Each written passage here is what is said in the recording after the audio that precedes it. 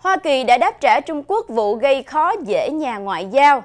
Hoa Kỳ, thưa quý vị, mới nhất đã yêu cầu các nhà ngoại giao Trung Quốc phải báo trước khi gặp quan chức nhằm đáp trả chính sách gây khó dễ của Bắc Kinh. Các nhà ngoại giao Hoa Kỳ tại Trung Quốc thường thì phải xin phép một số cấp chính quyền để gặp các quan chức hoặc là học giả địa phương, nhưng mà những yêu cầu như vậy thì thường bị từ chối.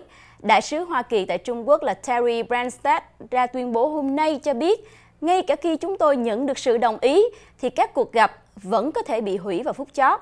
Đó là sự thất vọng trong một thời gian dài. Tuyên bố của ông này được đưa ra uh, sau khi Hoa Kỳ hồi tuần trước yêu cầu các nhà ngoại giao Trung Quốc cũng phải thông báo cho Bộ Ngoại giao trước khi gặp các quan chức nước này. Và đây được xem là một động thái nhằm đáp trả những quy tắc mà Hoa Kỳ cho là gây khó dễ từ phía Trung Quốc. Tuy nhiên, ông Branstad này cũng khẳng định là cái biện pháp này của Hoa Kỳ là một cái bước đi vô cùng khiêm tốn. Bởi vì sao? Hoa Kỳ chỉ yêu cầu các nhà ngoại giao Trung Quốc thông báo về các cuộc gặp, trong khi các nhân viên ngoại giao Hoa Kỳ thì phải được sự đồng ý của chính phủ Trung Quốc. Ông cho biết là ông đã hai lần bị từ chối tới Tây Tạng.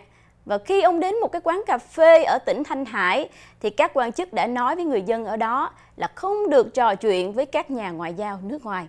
嗯。